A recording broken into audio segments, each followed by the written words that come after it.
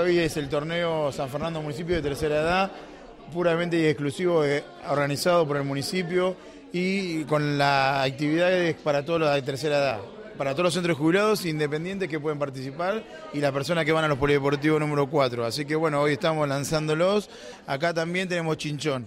Y bueno, y todos los meses van agregando diferentes actividades, como el mes que viene va a haber truco, tejo, siguiendo con esa política, seguimos difundiendo y haciendo actividades que tienen que ver con la contención y que ellos tengan las mismas oportunidades como tanto los abuelos como los niños y los, chicos especiales. Así que esto es una actividad más, a lo, que sumamos a, a los viajes, a la actividad que tienen diariamente en el polideportivo, así que bueno, estamos muy contentos porque la participación de ellos es constante y a todas las actividades que los invitamos ellos participan.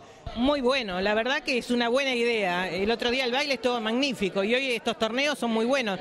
Nos sirve para que la gente, digamos, de la tercera edad este, pueda pasar un día agradable, venir a hacer un lindo deporte ya que estar en la casa no llega a nada. Este, es muy lindo porque además confraternizamos, nos conocemos con todas las, eh, personas, digamos los adultos mayores de San Fernando.